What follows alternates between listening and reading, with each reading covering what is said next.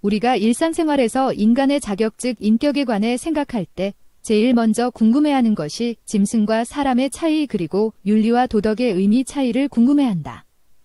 오늘은 윤리와 도덕의 의미 차이가 주제이므로 짐승과 사람의 차이를 먼저 간단히 살펴보면 사람은 개, 돼지, 사람과 같이 범생의 자연적 존재로서 부르는 호칭으로 사람과 짐승의 차이는 환경적 능력 등 부분적 기능에서 우열의 차이만 있을 뿐 별로 다른 의미는 없다.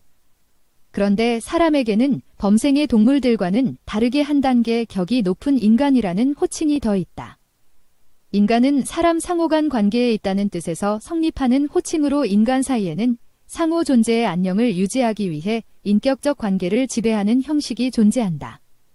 그 지배 개념이 곧 윤리 도덕이다. 그러므로 짐승과 사람의 차이는 실은 짐승과 인간의 차이로 말하는 것이 옳고 인간은 윤리 도덕을 지닌 존재를 의미하는 것이므로 반드시 윤리 도덕을 지키는 사람이어야 한다. 이 도덕 원리 때문에 인간은 윤리 도덕에 반하는 불륜이나 폐륜을 행하면 그는 범생의 존재로 격화되고 개나 돼지 같은 인간이라는 경멸의 소리를 듣게 된다. 다음은 윤리 도덕의 의미 차이에 대해 알아본다. 우리가 흔히 말하는 윤리 도덕은 인격의 원리인 윤리의 도와 덕을 뭉뚱그려 부른 말이다. 윤리 체계의 실제는 윤리와 도와 덕과 법으로 구성되었다.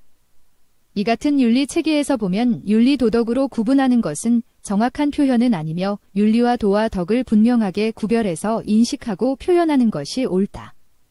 윤리는 사람의 생리를 근거로 출발하는 개념이다.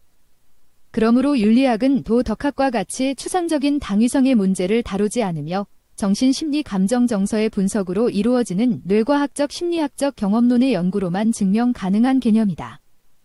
따라서 윤리가 인간 생리에 일으키는 기제는 인종의 차이에 상관없이 모든 인간에게 두루 같다. 인류가 생리적으로 공유하는 윤리는 실천을 통해 실현된다. 그 실천은 사람들이 거처하는 곳의 환경 문화적 또는 종교적 배경이 함의된 생각과 태도로서 실천하게 된다. 이에 윤리성은 모든 인류에게 하나지만 실천은 그곳의 정서에 마땅한 당위성을 보존해야 하는 속성을 가지며 이 같은 실천 윤리를 도덕이라고 한다.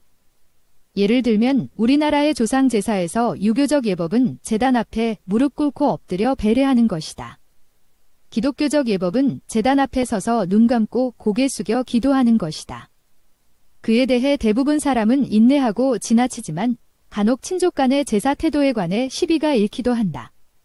도덕은 환경이 바뀌면 그 지역 또는 그 나라 도 덕률을 따라 행동을 바꾸어야 하는 것이 도덕적 행위다.